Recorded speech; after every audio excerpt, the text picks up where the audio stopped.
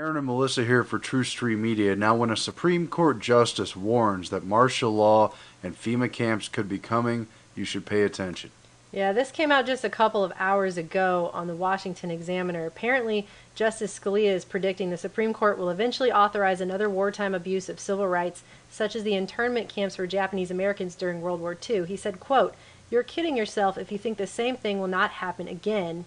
And he was talking to the University of Hawaii Law School discussing Korematsu versus the United States, which was a court case that basically upheld the executive order that allowed for the internment camps during World War II.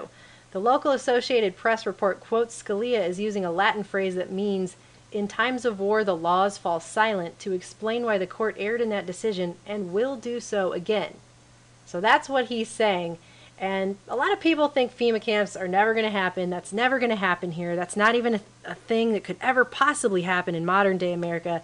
Those people obviously do not know some of the history of this country because during World War II, Executive Order 9066 was signed by Franklin Roosevelt on February 19, 1942, and we interned 120,000 Japanese Americans into military guarded camps, essentially FEMA camps, before FEMA was a thing. Okay, this happened.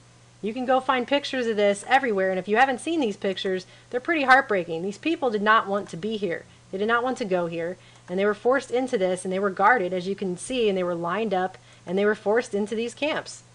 And why are we in this climate? Why is this going to happen again? Look what happened after 9 11. People willingly handed over more and more and more power to the government as fear intensified and as government power amplified. And it still exists, it's still growing under Obama. And maybe the 9 11 stuff has died off, but there will be new emergencies. And among them is the real possibility of an economic disaster, a total financial collapse and the possibility that the government would again look to interning people and abusing its power.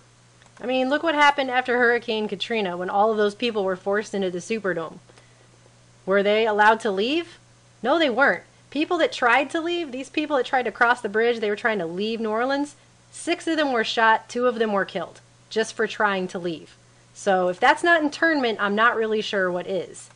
And there are all kinds, this is on the forbiddenknowledge.com, there are a bunch of executive orders that have been signed in relation to FEMA camps. I mean, I'll just run over this really fast. Executive Order 10990 allows the government to take over all modes of transportation and control of highways and seaports. Executive Order 10995 allows the government to seize and control communication media. Executive Order 10997 allows the government to take over all electrical power, gas, petroleum, fuels, and minerals. Executive Order 10998 allows the government to take over all food resources and farms. Executive Order 1100 allows the government to mobilize civilians into work brigades under government supervision. Executive Order 11001 allows the government to take over all health, education, and welfare functions. Executive Order 11002 designates the Postmaster General to operate a national registration of all persons. Executive Order 11003 allows the government to take over all airports and aircraft, including commercial aircraft. Executive Order 11004 allows the Housing and Finance Authority to relocate communities, build new housing with public funds, designate areas to be abandoned, and establish new locations for populations. Just think of the power just with relocating entire populations and communities.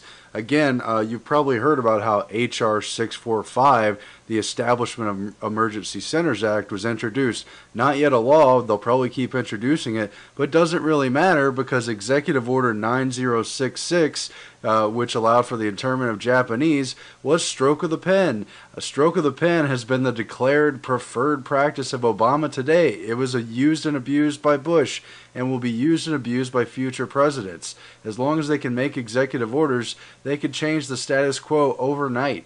I mean, look at this. It continues. Executive Order 11005 allows the government to take over railroads, inland waterways, and public storage facilities. Executive Order 11051 specifies the responsibility of the Office of Emergency Planning and gives authorization to put all executive orders into effect in times of increased international tensions and economic or financial crisis.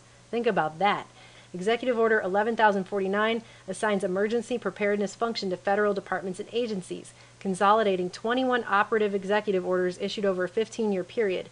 And Executive Order 11921 allows FEMA to develop plans to establish control over the mechanisms of production and distribution of energy sources, wages, salaries, credit, and the flow of money in the U.S. financial institutions in any undefined national emergency.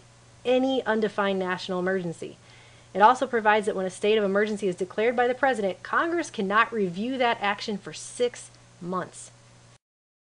FEMA has broad powers in every aspect of the nation, and we've been to a FEMA camp. We showed you a FEMA camp that's here in Taylor, Texas.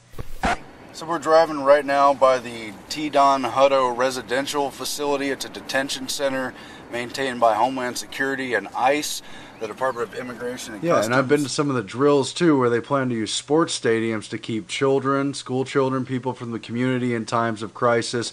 The architecture's all there, and the continuity of government has been set up in the shadows to keep power with those people involved in the power structure outside of the Constitution.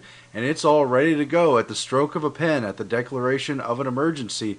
Doesn't really matter if it's a false flag or a financial collapse or some other pretext. They are ready to seize power and put people basically behind bars, not in the name of them committing crimes, but in the name of keeping order and preserving the great United States power structure, which again won't be constitutional, but it will be continuing.